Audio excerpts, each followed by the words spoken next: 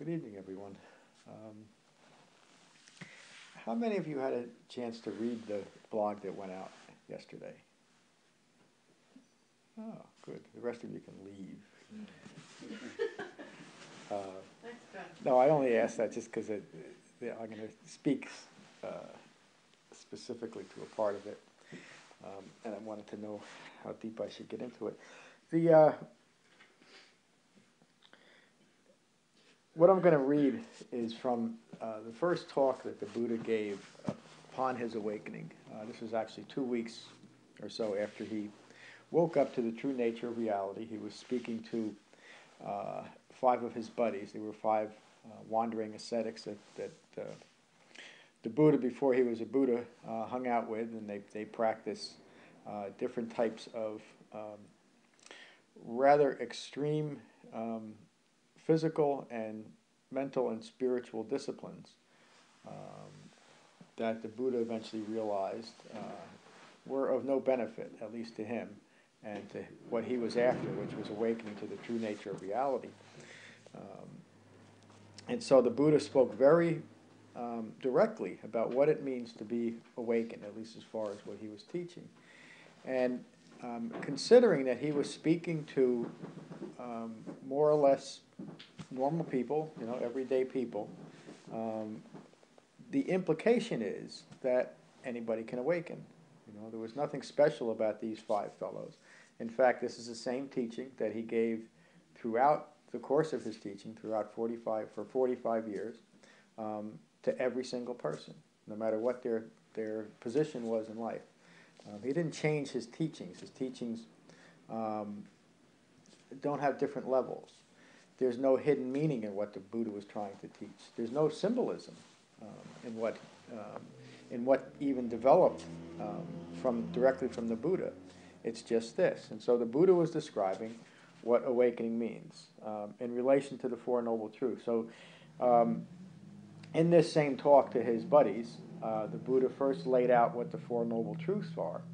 And the question came to the Buddha, well, then, I, you know, the, one of them said, I can't remember who it was, said, I kind of get that, but so how does, this, how does this relate to awakening? And the Buddha's response was, the noble truth of dukkha, of suffering, has been comprehended.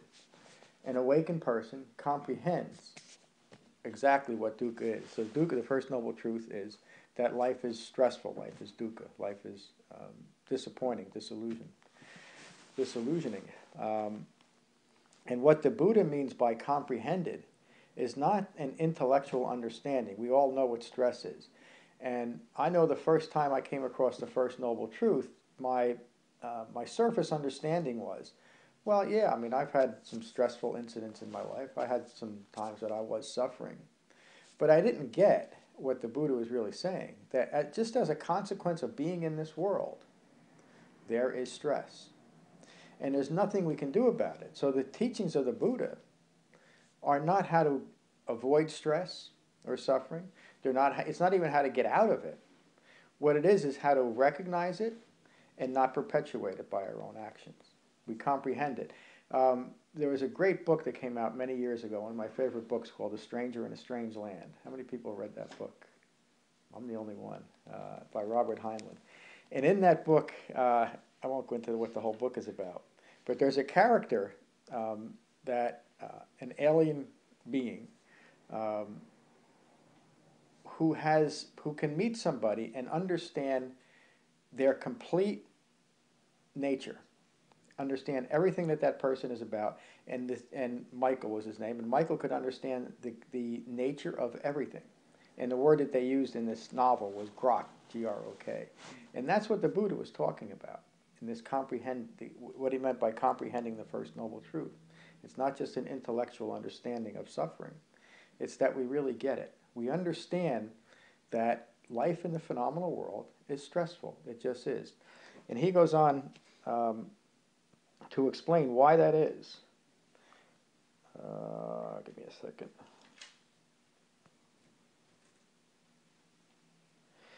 Now, this, monks, is the noble truth of stress. Birth is stressful, aging is stress, stressful, death is stressful, sorrow, lamentation, pain, distress, and despair are stressful. Association with those loathed is stressful. Separation from the loved is stressful. Not getting what is wanted is stressful. Receiving what one desires to avoid is stressful.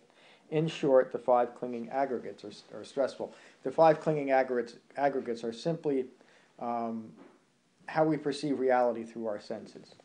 So, what he's saying there is just as a consequence of being in the world, we're going to experience stress. And it begins right with birth.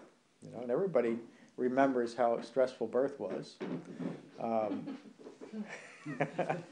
at least we're told.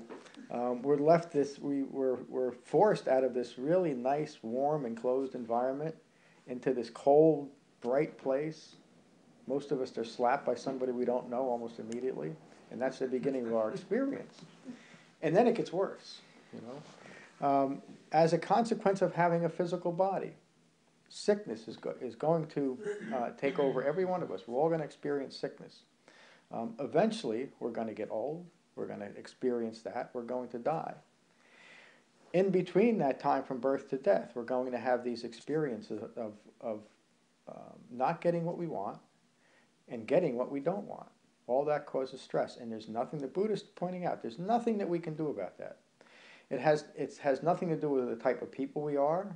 It has nothing to do with whether God is shining down on us.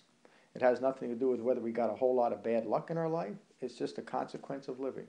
Some people's lives seem to be more difficult than others, but everybody who lives in this physical world, in the phenomenal world, is going to experience stress. So the Buddha pointed that out. He said, Don't worry about it. He said, Don't take any of it personal. Understand it. And understand it at, on a deep level that we just accept it and we don't fight it anymore. You know, That's the beginning of understanding the Buddha's teaching because we have to know where we are. We have to know where, where we exist. We exist in a phenomenal world where stress arises. Stress arises naturally. We're not responsible for a lot of it. A lot of it is just a consequence of living in the world. Um, people do things that, that we don't understand um, that at least initially hurts us. And we try to figure out why it happens. Why do people act this way? Why did this happen to me? Did I do something to cause this? Most of the time, it's, it's, it's completely impersonal. People do things because they're ignorant of what, they're, what we're all about. You know, even people that are acting in an aggressive and competitive way, and it ends up hurting us, they don't understand really what they're doing and the consequences of their actions. Uh, there's natural things that happen in the world big snowstorms, earthquakes, volcanoes, all that kind of stuff. You know, that's part of living here. It's part of, of, of just the stress of living in the world. Understand it and accept it, that that's what's going on. Don't fight it. The great peace and freedom comes by just accepting that and seeing that on a real deep level. So, spiritual practice, at least what the Buddha was talking about, is not a way to escape that. It's not a way to avoid it. It's not a way to manipulate it. It's not a way to gain favor with a higher being so it doesn't happen to us. No matter what we do, life is going to be stressful. But what we can get out of life, if we put away all the clinging and craving and desire that it be different than it is, is a deep and meaningful existence in this present moment. And that's what mindfulness is all about. It means being deeply aware of life exactly as it is and not wanting it to be any different. And then we can start uh, a deep understanding of who we are and what, what we're really doing here, which is to awaken to the true nature of reality. So we start with the first noble truth, just accepting that. In, in practice, um, especially in this practice, uh, a, a, a practice that's deeply rooted in meditation, we can start looking at meditation as that relief from stress. You know, and it and it really can be experienced that way. We've had a really rough day. Well, let's go meditate and we can put the day behind us and we feel better. And that's okay. It's not that we shouldn't enjoy that aspect of, of the stress relieving capabilities of meditation, but it's much deeper than that. You know, so we, we get into meditation, we start to relax. That's the beginning of shamatha vipassana. Our minds start to quiet down. Allow that to happen and then go deeper than that. It's not just about feeling good. It's not just about having a pleasant, relaxed experience in meditation. It's about getting beyond all of that desire and settling into who we deeply are, into our, our core essence, past that, that stress is caused by living in a phenomenal world. Because who we are, in essence, is something that is a part of the phenomenal world, world but much, much larger than that and beyond that. And actually, the correct term is before that. You know, there's a, there's a, a famous Zen saying is, what was your face before your parents were born? Face meaning your nature. What was our nature before our parents were born? You think about that.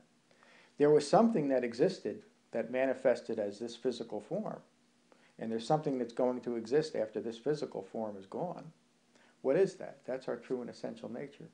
That's the part of us that is completely unaffected by the phenomenal world, by the stress of the phenomenal world. And so the Buddha is to- pointing towards that, towards that true and essential nature, when he's saying, because we've, we're here now, we're going to experience that stress. Don't fight it. Stop fighting it. Stop expecting it to be different than it is. And learn to relax into your own true and essential nature. And that's what this meditation practice that we do is about. Shamatha Vipassana, shamatha quieting the mind, Vipassana gaining insight. It's not insight into some mystical understanding. It's insight into the fact that yes, life is stressful, but it's not part of me. It's just part of this experience that I'm in that I can't do anything about, except I can take care of my spiritual well being.